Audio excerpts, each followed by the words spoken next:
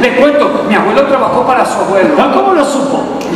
Por el Drácula que está en la esquina.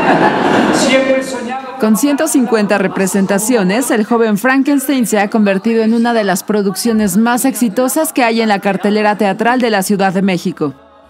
Y ha sido una temporada muy padre, muy exitosa, con la respuesta del público increíble.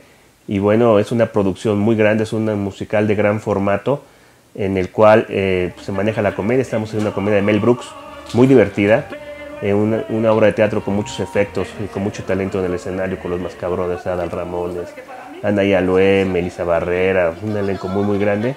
Mientras la primera llamada se aproxima, en las entrañas del Teatro Aldama la función ha comenzado. Técnicos, escenógrafos, iluminadores y gente de utilería empiezan a hacer su trabajo. Peinadoras y maquillistas se alistan para preparar a los actores y bailarines que intervendrán en la obra. En uno de los camerinos más alejados del escenario se encuentra Gerardo González, quien desde dos horas antes comienza con la preparación del Dr. Frederick Frankenstein, mientras en otro camerino se encuentran las actrices Melissa Barrera y Annie Alue, aunque el más llamativo le pertenece a Germán Ortega.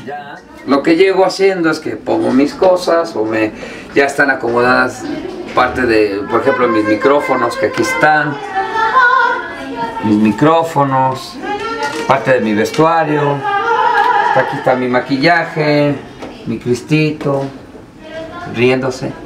Es una obra completa, tiene música, escenografía espectacular, iluminación espectacular, todos están maravillosamente bien, todos mis compañeros. Entonces pues, los invitamos a ver el joven Frankenstein. Con información de Eleazar Ramos e imágenes de Ana Karen Alvarado y Daniel Sánchez. Notimex.